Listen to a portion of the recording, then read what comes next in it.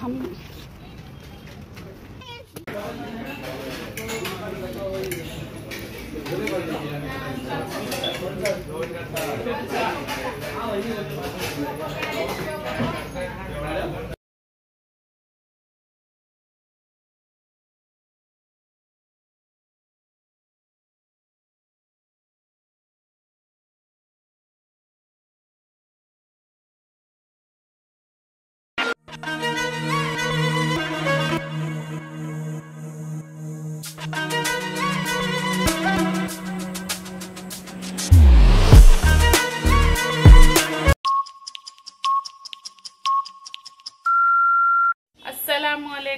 Welcome to जेबा blog तो सुबह का नाश्ता हमारा हो गया है और अभी हम बनाएँगे दोपहर सॉरी हम अब तैयारी करेंगे दोपहर के खाने की। तो अभी 11 बज रहे हैं। तो हम दोपहर में क्या बना रहे हैं, ये हम आपको ज़रूर बताएँगे। बने रहिए हमारे ब्लॉग में। अल्लाह हाफिज। तो ये देख सकते हैं, हमने एक तपेली रख दिए है सालन के लिए और हमने इधर चावल भी बॉईल होने के लिए रख दिए अभी इधर हमारे चावल पक रहे हैं उधर हम सालन की तैयारी करेंगे। रोटी मैंने बना ली हूँ तो तेल भी गर्म हो गया है। अब हम इसके अंदर डालेंगे ज़ीरा। ये देखिए, हम ज़ीरा और कड़ी पत्ता डाल देंगे। तेल काफ़ी गर्म हो गया है तो हम फ़ौरन ही प्याज भी डाल देंगे।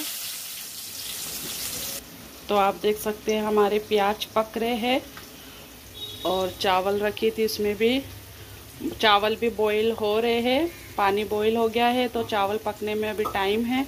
तो जब तक हम सालन की तैयारी करते हैं चावल प्याज को हमें गलाना है, हम बना रहे हैं चिकन आलू। तो आप देखिए मेरे स्टाइल में चिकन आलू की रेसिपी ये देखिए हमारे प्याज एकदम लाइट ब्राउन हो गए। अब इसमें हम एक छोटा टमाटर कटा हुआ ऐड करेंगे और उसमें ही हम हरा मसाला इसमें ऐड करेंगे। इसमें लहसुन, अदरक पेस्ट नहीं ऐड करेंगे। इतना ही बचा था तो मैं ये पूरा ही ऐड कर रही हूँ इसमें। ये देख सकते हैं और हम इसके अंदर अभी दो तीन हरी मिर्ची भी ऐड करेंगे। जो मैं पहले से ही तोड़ के डब्बे में रख लेती हूँ। खुल ही मेरा एक हाथ से मोबाइल और एक हाथ से काम बिल्कुल भी नहीं होता। और क्या करें, ब्लॉग भी बनाना पड़ता है। एक मिनट। तो ये देख सकते हैं, इसमें हम सिर्फ़, ये तीखी मिर्ची है तो इसको हम सिर्फ़ दो या चार ऐड करेंगे। अगर बड़ी हरी मिर्ची लंबी वाली रहती, जो तीखा नहीं रहता, उसको हम पाँच छः ऐड करते ये देखिए, पाँच मिनट तक हमारा मसाला ऐसे ही रखे। सॉरी पक गया पाँच मिनट तक, पाँच मिनट में थोड़ा मसाला। अब हम इसके अंदर हमारा चिकन मैंने साफ़ करके रख दी थी। तो चिकन ऐड करेंगे और इसी के ऊपर हम हमारा बेसिक मसाला भी ऐड करेंगे। ये देखिए, हमारे मसाले इसमें ऐड कर दिए और नमक भी। अब इसके ऊपर ही हम हमारा ये अपना दही डालेंगे, चार चम्मच। मैं ऐसे ही डाल देती हूँ।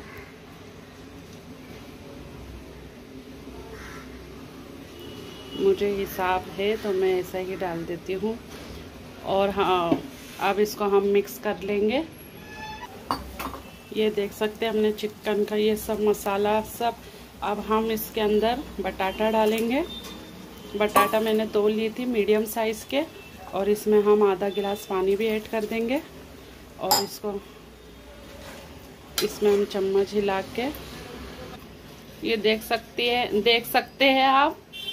अब हम इसको 10-15 मिनट पकाएँगे, प्लेट ढक देंगे और फ्रेम, और सॉरी, गैस का सिलो फ्रेम कर देंगे। देखिए, चूल्हा भी हम सिलो फ्रेम में रखेंगे और चूल्हा भी हमारा गंदा हो गया है। रोज़ की तरह जब भी पकाते तब भी गंदा होता है। और पूरा खाना पकाने के बाद लास्ट में साफ़ भी कर देते हैं। चलो, मिल चलो मिलते हैं फिर 10-15 मिनट के बाद। ये देखिए हमारा सालन मसाला भुन गया है। अब इसमें हम कोतमीर और पुदीना काट के डालेंगे। ये देखिए आप। इसमें हम एक गिलास पानी ऐड करेंगे थोड़ा। ये देखिए हमारा सालन हो गया तैयार। चलो मिलते हैं अब इंशाल्लाह थोड़ी देर में। थोड़ा अपने हिसाब से लस्सी बनाया जाए। तो मैंने इसके अंदर एक गिलास पानी और शक्कर और दही को ऐसा इससे फेंट रही हूँ।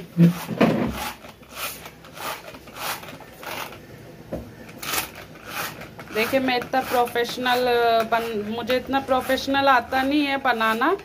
जिस तरह आता है, बस वैसा ही बना रही हूँ। ये देखिए हमारी लस्सी तैयार हो गई जैसी तैसी। अब इसको हम इस गिलास में ऐड करेंगे और इसके अंदर हम थोड़े बर्फ़ डालेंगे।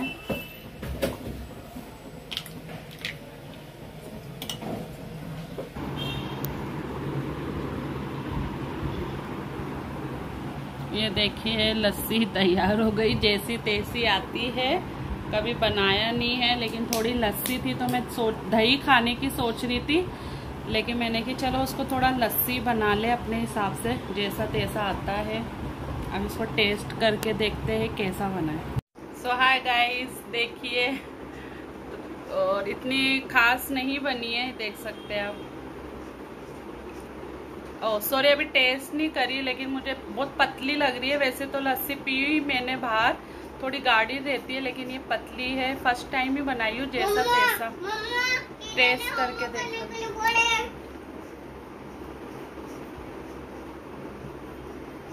नॉट बैड सही है। जैसा बाहर मिलता है ना वैसा नहीं है। बस लेकिन चल रहा है। ये देखिए। कैसा लगा मरियम? बहुत अच्छा। बहुत अच्छा। बड़ा खिलाना है। लेकिन गर्मी के लिए ये बहुत अच्छा रहता है। किचन में पकाते पसीने वसीने सब आते गर्म लगता। मैं दही खा रही थी तो मैंने सोचा चलो उसको कुछ ऐसा बना ही लेते ट्राई कर लेते। ट्राई करने में क्या जा रहा है? अस्सलाम वालेकुम गाइस तो हम लोग का दोपहर का खाना हो गया है और खाना सबको पसंद भी आया है।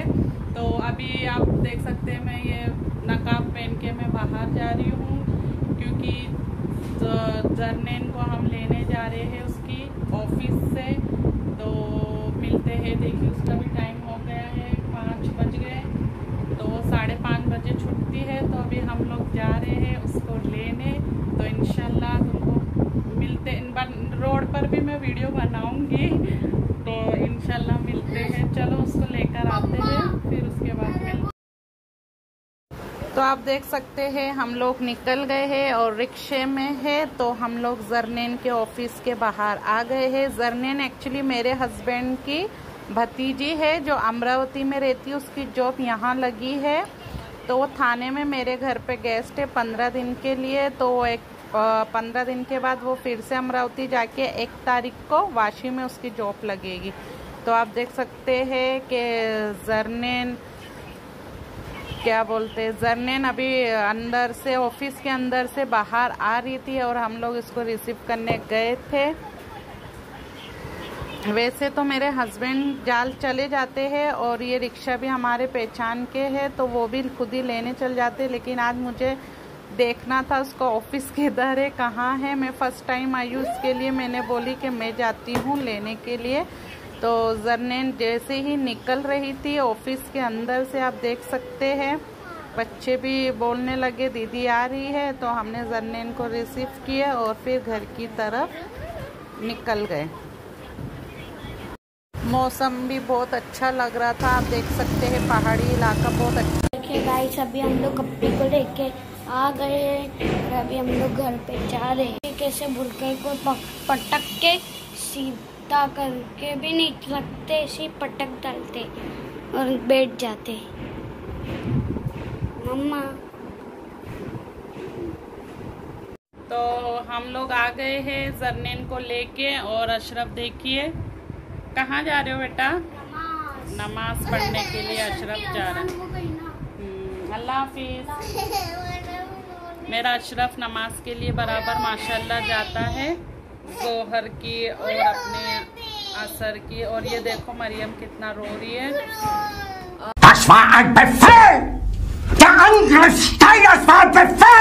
हम जा रहे हैं अशरफ की यूनिफॉर्म और स्कूल की तैयारी करने। चलो मिलते हैं मार्केट में।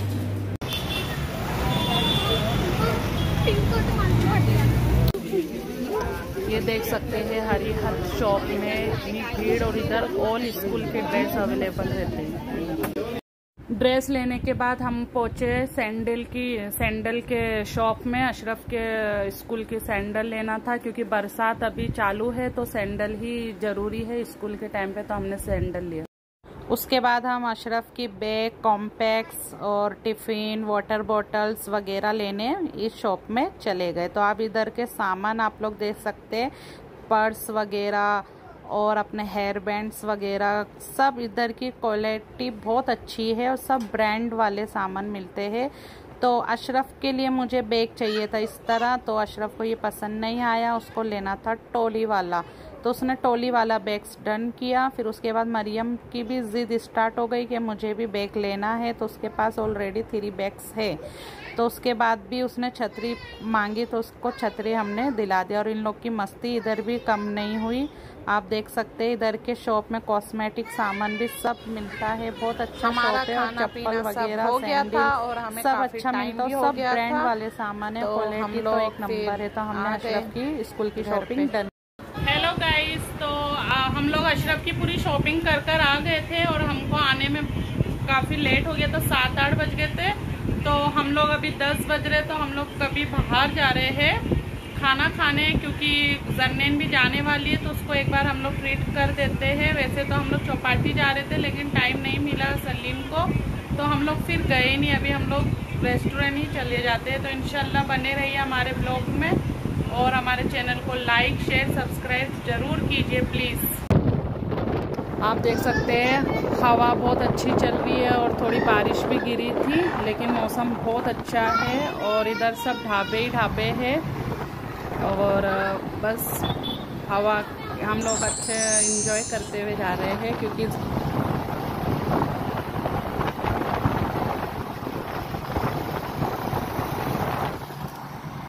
हमेशा की तरह हम वही रेस्टोरेंट में आते हैं, क्योंकि हमें यहाँ का खाना और सर्विस दोनों बहुत अच्छा लगता है। बाई चांस हम लोग दूसरी जगह भी चले जाते हैं, ऐसा नहीं है, लेकिन हर बार हम लोग इधर ही आते हैं, क्योंकि ये नज़दीक और हमेशा की तरह हम ये ही क्रिस्पी और तंदूरी ही ऑर्डर करते हैं और तंदूरी में हमने चेंजिंग करे है, काली मिरी तंदूरी ऑर्डर करे है और ये भी डिलीशियस थी।